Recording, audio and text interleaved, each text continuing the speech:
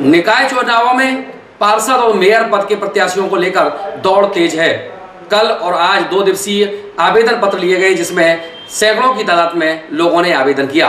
पेश है ये रिपोर्ट। निकाय चुनाव में मेयर और पार्षद पद के उम्मीदवारों की सूची बदस्तूर बढ़ती जा रही है। दो दिन में आए आवेदनों की श्रृंखला में 25 से 30 मेयर पद के प्रत्याशी और 300 प्रत्याशी नगर निगम के पार्षद पद के लिए आए हैं। ऐसी स्थिति में आवेदन सबके स्वीकार कर लिए गए हैं और कमेटी यह डिसाइड करेगी आखिरकार कौन भारतीय जनता पार्टी से मेयर पद का प्रत्याशी होगा और कौन पार्षद।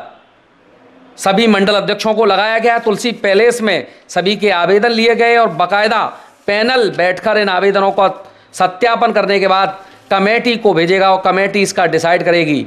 फिरोजाबाद के नगर निकाय के प्रभारी बुलंदशहर के विधायक भी इस अवसर पर मौजूद रहे। उन्होंने तमाम भाजपा कार्यकर्ताओं से बातचीत की, निकाय चुनाव के प्रभारी होने के नाते उन्होंने सबका परिचय लिया और आगामी चुनाव की रणनीति पर भी मीडिया से रूबरू हुए। महापौर पद के लिए मुझे अभी तक 20 आवेदन प्राप्त हुए हैं पूरे महानगर से और लगभग 170 आवेदन विभिन्न वार्डों के पार्षद पद हेतु प्राप्त हुए हैं। अभी आज शाम को पाँच बजे तक आवेदन लिए जाएँगे, उसके बाद आवेदन लिए जाने की प्रक्रिया समाप्त हो जाएगी। उसके बाद सभी आवेदनों की स्क्रीनिंग होकर संगठन अपना निर्णय लेगा। आज किसी प्रकार का कोई निर्णय होने नहीं जा रहा है। संगठन का निर्णय और जो निर्णय ऊपर से होगा, वो हमें मान्य है। और मैं निश्चित रूप से आसान्वित हूँ कि भारतीय जनता पार्टी महापौर के पद से लेकर और विभिन्न वार्डों में अच्छे सभासदों के साथ हम जीत दर्ज कराएँगे और महानगर, नगर निगम में भारतीय जनता पार्टी काबिज होगी। देखो, ये संगठन का निर्णय है। मैं तो एक संगठन का मात्र छोटा सा प्रतिनिधि हूँ। संगठन का जो निर्देश है उसका पालन कर रहा हूँ। शेष चीज़ें संगठन को तय करनी है। मैं तो कोई सीट बंटवारे कोई बात नहीं है अभी। आज पाँच बजे तक पहले बायोडाटा लिए जाएँगे। उसके बाद दूसरी दूसरी बैठक जब भी होगी उसमें किसी प्रकार निर्णय होगा। आज कोई निर्णय नहीं होने वाला।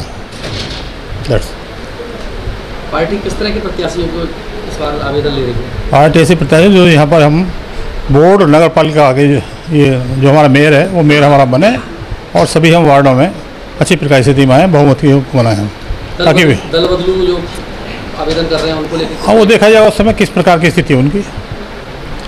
आज कोई निर्णय की स्थिति में नहीं है आज। आता जब बारह करते हैं उसके बाद देखें कौन दल बदलूगा कौन नहीं है। हमारा प्रयास ये है कि हमारा कार्यकर्ता लड़े संगठन के जो लोग हैं वो लड़ना चाहते हैं वो लड़ें और अपना कार्यकर्ता लड़े। बाहरी वाले लोगों को कोई महत्व नहीं दे जाएगा।